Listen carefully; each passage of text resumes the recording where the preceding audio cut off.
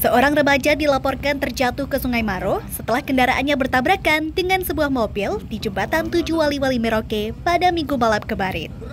Tim SAR diturunkan untuk mencari korban dan berhasil ditemukan pukul setengah 10 malam sekitar 300 meter dari lokasi kejadian. Saat ditemukan, korban bernama Genta Wisnu Aji sudah dalam kondisi tak bernyawa. Jenazah dievakuasi ke darat untuk kemudian diserahkan ke pihak keluarga di tempat apa lokasi kejadian atas nama Genta Wisnu Aji usia 17 tahun jenis kelamin laki-laki alamat Jalan Kampung Kupar ke jembatan Tujuh Wali-Wali menggunakan satu unit uh, satu unit rip dan sea rider dengan tim rescue di atasnya dan dibantu dengan satu buah drone dan pilot drone untuk pencarian di malam hari.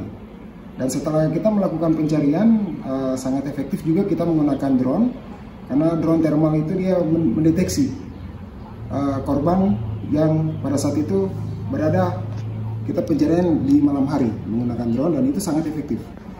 Dan tim SAR langsung melakukan evakuasi terhadap korban dan korban itu ditemukan kurang lebih jam 21.30. Jessica Ardana, Kompas TV Merauke, Papua Selatan. Sabor, sabor, sabor.